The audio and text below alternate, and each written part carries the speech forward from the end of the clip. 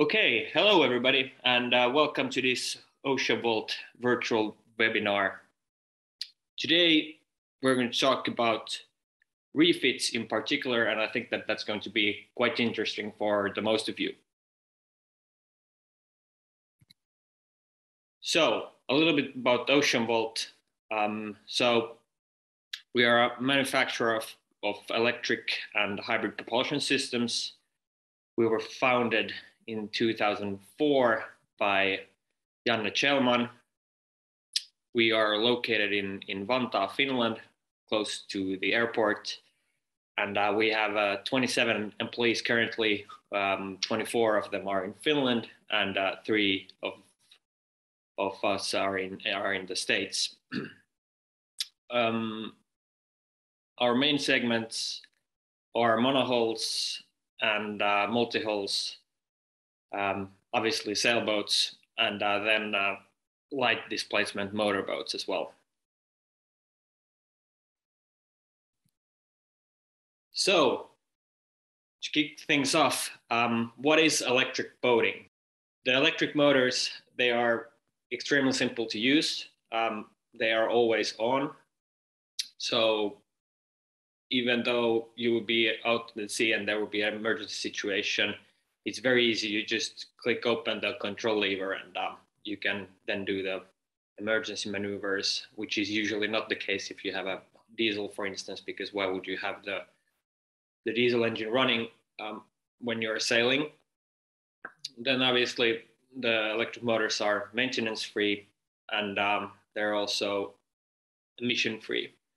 And uh, even though you would opt for a hybrid system, um, the emission difference is roughly 30 to 60 percent compared to your your diesel engine. Um, then we get a lot of questions about how do we measure the, the power um, that we that we have and how do how does that compare to a, a diesel engine um, so one kilowatt is roughly two and a half to three horsepower um, in torque. Now, this is because obviously the electric motor the torque profile is very different from what it is on a diesel engine. So, what this means is that if you have a 10 kilowatt electric motor, for instance, um, it is suitable for a boat that has roughly around 30 a 30 horsepower diesel engine. And uh, obviously, one of the big benefit, which is in the core DNA of, uh, of electric motor, is that it also works as a hydro generator. Um, so basically, it's already by definition it has two uses. So you can use it as your main propulsion motor, or then you can use it as well as your hydro generator, which obviously gives you then um, more autonomy when you are sailing, and especially on, on longer legs. So if you're, for example, uh, crossing the Atlantic, um, you don't necessarily need a generator to as a backup uh, for creating electricity on board.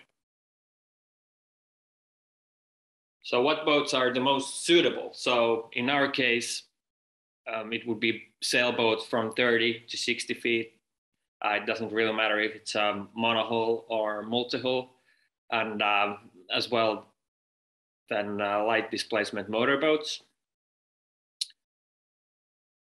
And the things to take into account when um, planning or um, thinking about converting your boat to electric is the existing engine.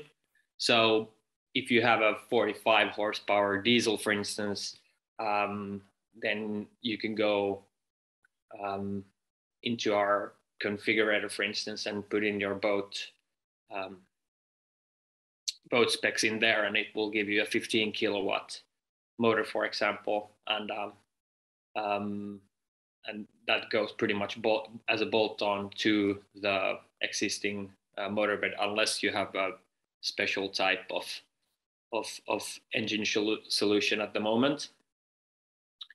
Um, then, of course, range expectation is one of the big ones. So, um, typically, pure electric boats make sense uh, if the boat is around 35 to 45 foot um, and it's roughly around 10 to well let's say max 10 tons uh, over that sure uh, we could build a very big battery bank um, but it goes would make then probably more sense to to go with the hybrid system um, and then with this comes the space requirements so um, please have a look around the boat and and um, try to visualize that where uh, it would make most sense to, for example, put the batteries. Um, the motor is simple; it goes where it has been before uh, in 99% of the cases. Um, but then also, if it's a generator, um, that's one thing to to have a look at. That what size of a generator is possible to put in, um, and um, and as well the, the, the chargers. Um, but this is usually then that you have already, for example, asked us for a quotation, and then we have given you a, a indicative specification for it. And from there, uh, we can send over the dimensions for you to sort of do a quick measurement on, on um, to see, for example, where the generator would, would fit and also the batteries.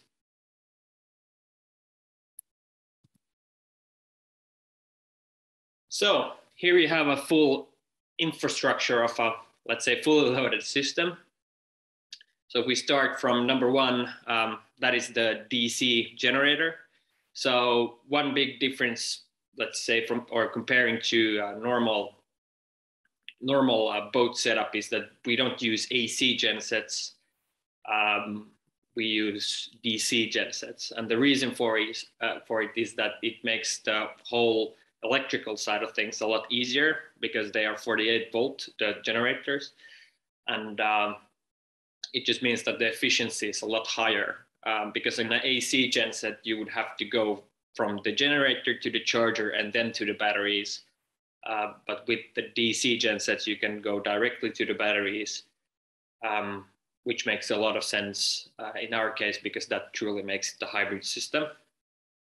Um, so if we would go with an AC um, genset, um, we would basically mm-hmm. and wear the, the, the charger and the inverter on the on the generator very fast, so it wouldn't really make sense. Uh, then for simpler, let's say, range extending uh, situations, so if you just want to give a little bit of range more, uh, then it's obviously fine to to have a AC genset.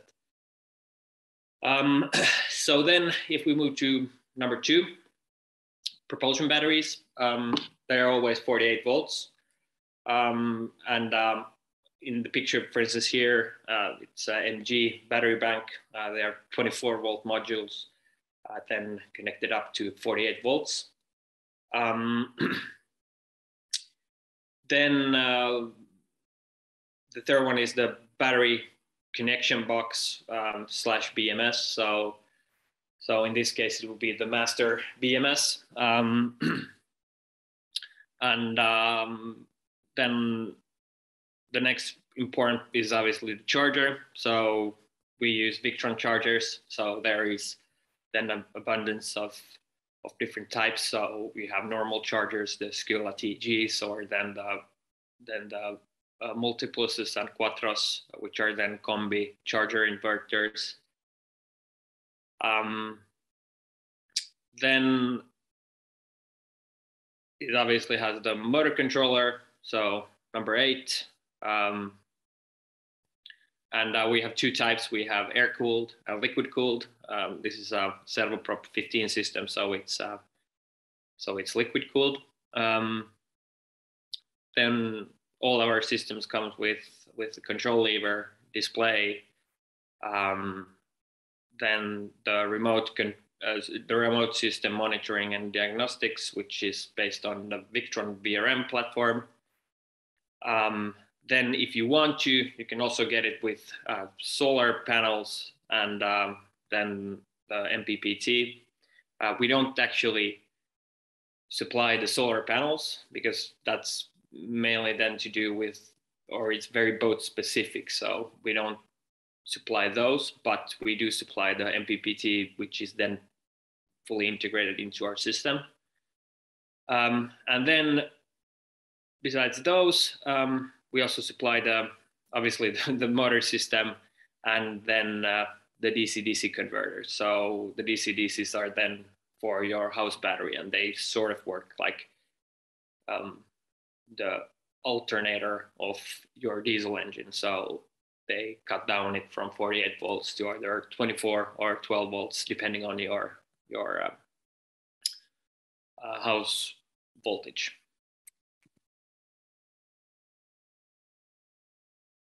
So um, then when we look at the installation, uh, there are a couple of things to consider with the materials. So, well, fiberglass, that's by far the, the simplest. Uh, well, wood is also uh, simple. Uh, with wood is the only thing to consider is, is that um, um, most of the, the, the electronics are not IP67, so please make sure that they stay dry.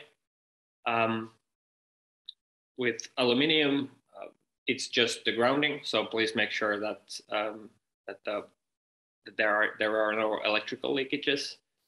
And uh, well, the, basically the same thing goes with carbon fiber as well. Um, the since it's 48 volts, it is very safe, so you don't have to be a, a certified electrician to to do the installation. Um, and uh, also the the steps are fairly straightforward. Um, so then I already touched a little bit about the, the space requirements. So the motor basically, well, that goes where the old motor was. So is it has it then been a sail drive or a shaft drive? Usually, um, that's the place, or they will go directly onto those. Um, then the for the battery location, as a general rule of thumb, uh, the balance of the boat should try to be kept the same.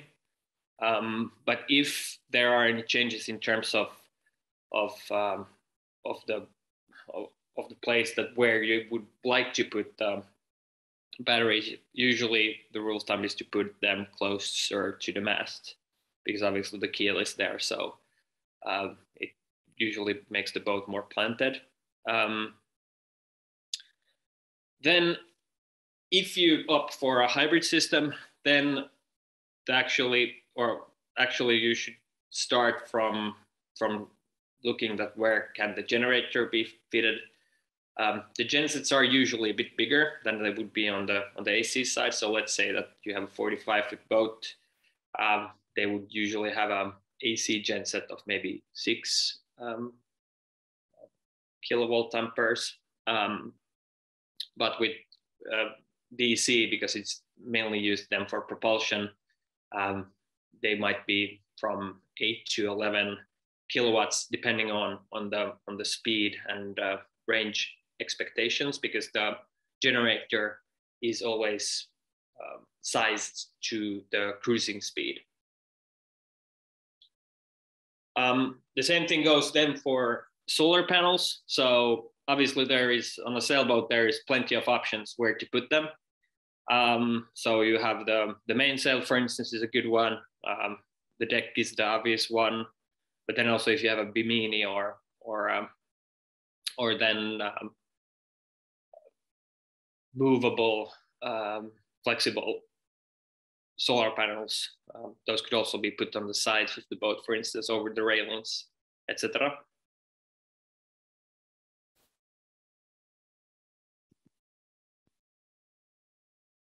So then, um,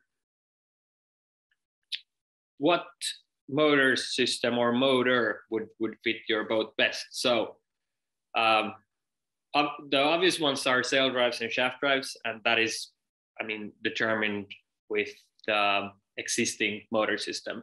Uh, there are some cases where we have actually changed from shaft drive. So the boat used to have a shaft drive system, uh, to a sail drive system. And the reason for that was simply because um, the sail drives have better regeneration capabilities and the overall efficiency of the, of the drive is a little bit better um, on, at the propeller i mean. The motors themselves they work roughly at the same efficiency which is around 95% so there, there isn't really a difference but then from a hydrodynamical point of view the sail drive is better than a shaft drive because of the angle of the prop um, compared to the water flow.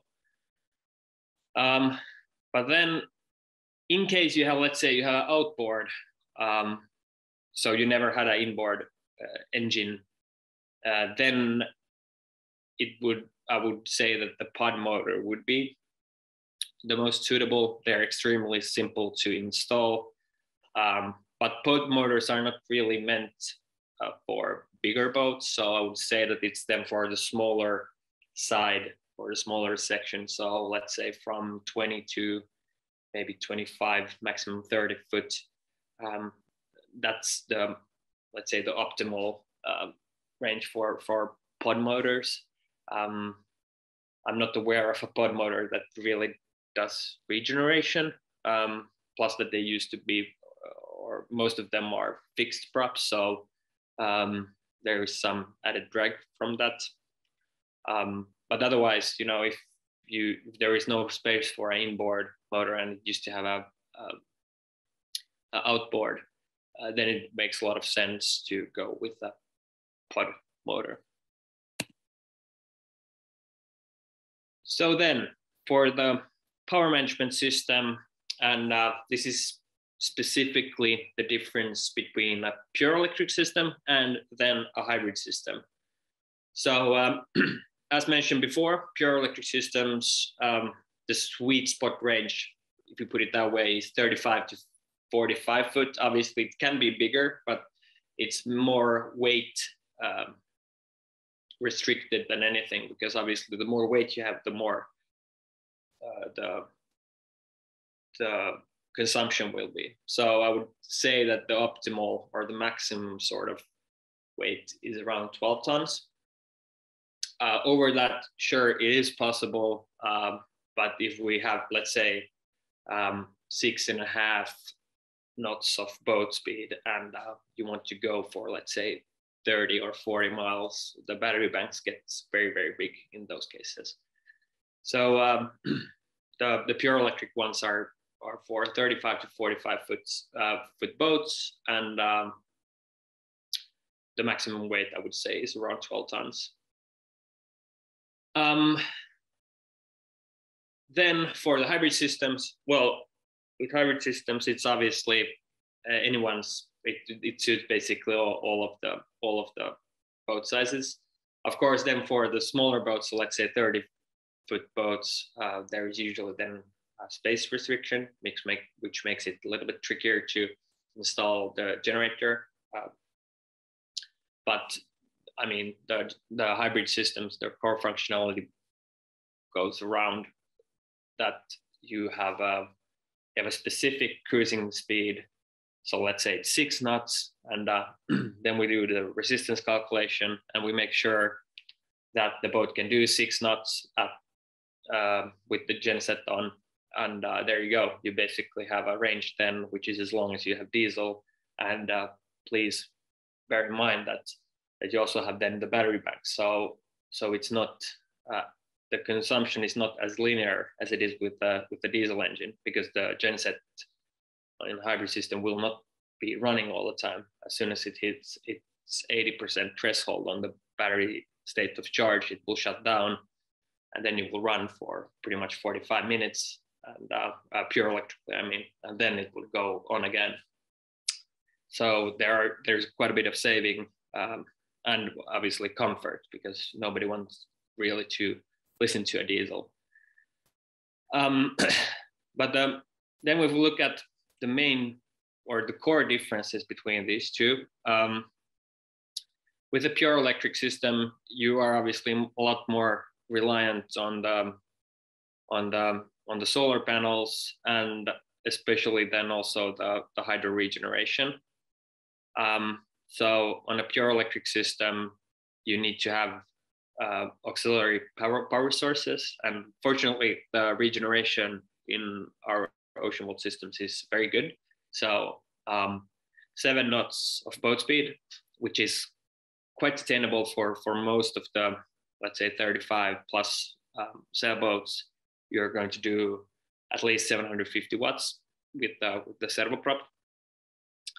And uh, even with the shaft drives uh, at seven knots, you will do roughly around 500 watts of power. So um, it's usually plenty to to to at least keep the state of charge. And um, uh, on the shaft drives, and then with the servo prop, you're obviously also then charging.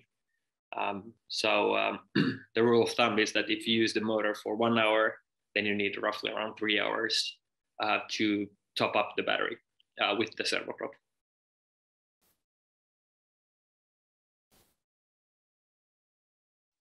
So um, then a little bit about the advantages for the skipper. So um, one of them not so obvious is, is motor sailing. So um, basically, if, if you are in very light winds and um, you want to extend the extend the range um, for whatever reason, um, one nifty thing to do is is to motor sail. So basically, um, you hoist the mainsail, um, or then if you have a code zero or or a Genoa, uh, you uh, give them you you hoist that, and then you give a small push from the from the motor, and um, instead of going just with the motor, let's say two and a half, three knots, uh, suddenly with the sail assisting, um, you're going five knots, and um, you can basically quadruple the, the range by doing this. Um, and obviously that's without no no noise. So um, so it's a way of also cheat in the in the races. Um, then obviously there is there are no range or operation uh, restrictions when you're sailing, especially if you're regenerating. Um, you are putting in energy to the battery bank, so you're effectively uh, increasing your motoring range uh, while you're sailing. Um, then, of course, as mentioned before, since the motor is always on, uh, you have the, the instant torque and power at, your, at your disposal at any time. Um, then one big factor is the easy handling. So because the reliability and the instant torque and power, it's very easy to handle uh, when harbor maneuvering, for instance. Um, then of course the electric motors are silent, so that means that the, the, the deck communication is a lot more is a lot more pleasant than with the diesel. Um, and it's also um, a safety concern. So when you can when you can clearly communicate with the person who assists you uh, in docking, for instance, it makes it a lot safer as well. Um, then, well, this is something that we already touched on, but um, the generator only runs when it's needed. So the system is optimized in a way that uh, it only really runs when it's necessary. Um, and then because of this, you have a complete power management. So you have uh, the sustainable energy sources, so wind, sun, and then uh, as a main uh, auxiliary power source, you would have the hydro regeneration, and also if you have a if you have a generator on board, uh, it all complements into a into a system where you don't really need to have any other power sources. So then the big, big question, why should you switch to electric now? So the technology is pretty much done for sailboats. Um, there is no need for, for um, or it's, it's not a question of need. Uh, there is not a must for, let's say, um, higher or higher density batteries, as it would be with plain motorboats, for instance. Uh, so the proof of concept has been done um, with at least a thousand boats now. Um, and with this, you get more living space um, because the, the, the, components in general are smaller and because they are modular, uh, they can be placed in, in different uh, places. Um, it's not like a big block, so basically a diesel engine or a, a fuel tank. Um, so you can place them uh, into more convenient places. Um, then the one big one is more comfort. So um, because you have energy autonomy, um, this means that if you're, for instance, staying in anchor for a longer period of time, the main propulsion battery bank works then as a massive uh, house battery bank uh, with the generator if that's installed. So it makes that you have a lot of quiet hours and it means that you can install quite easily there air conditioning, uh, induction stove tops, bigger fridges, uh, freezers, water heaters. I mean, the list goes on and on. But with this, you get a lot more comfort on board. So you can basically use it as a um, as you would at home. Um, and as already touched upon, so the complete power management. So you're not relying on on just a single source. Um, you have plenty of sources to choose from. So is it then shore power? Um, is it then the generator, uh, hydro regeneration, solar panels? All of these um, assist to uh, one big uh, autonomous package. Um, then the one big thing is obviously the maintenance. So the only thing you really have to do the maintenance on during the season is um, is to check that the for instance in sail drives is the oil uh, in good shape in the in the sail drive. Um, then uh, yeah, basically change the propeller anodes, and that's it. Uh, there isn't really anything else to be done. Of course, if you have then a generator that requires its its normal um, diesel maintenances, so filters and and whatnot. Um, but because of then the, the energy autonomy, um, you get more redundancy because there is not there's not a, a single sort of thing to be broken down, which would sort of take out the whole system. Um, and plus that there are what three moving parts in an electric motor. So it's by design simpler than a, a starter motor on diesel. So less mechanical parts to break down means better safety um, and therefore also better redundancy.